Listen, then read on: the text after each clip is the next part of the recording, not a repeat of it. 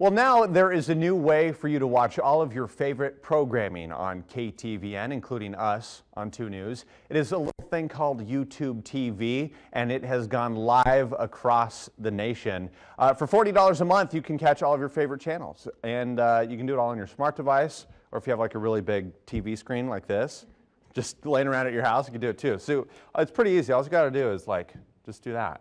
And allegedly, the news is going to pop up. Hold on.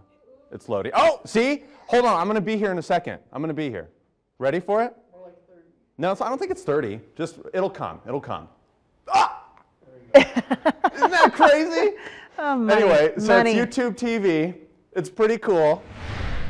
This was like the highlight of my anchoring career just then. I'm just watching my favorite person on the news. Uh, anyway, go to ktvn.com and sign up for YouTube TV, or you can subscribe. Wait, or yeah, just do it online. It's fine.